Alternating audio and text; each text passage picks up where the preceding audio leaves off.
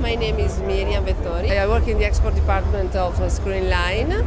Uh, we are here uh, at ProLight and Sound because we want to uh, present again and to push the sales of our rental screen, our for rent, uh, which wants to uh, stop, let's say, this leadership of uh, the competition, which made a standard uh, which is used for uh, almost everybody.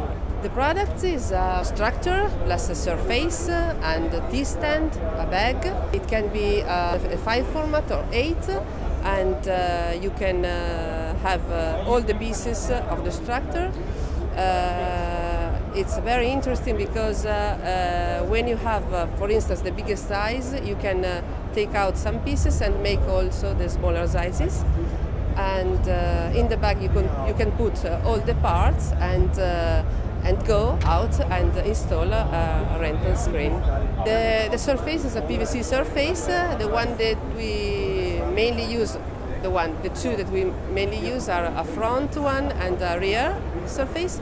They are in PVC and uh, they are very elastic, so the, there's no trouble in putting the surface on the structure and uh, uh, the flatness is uh, granted and also the, the projection is very good.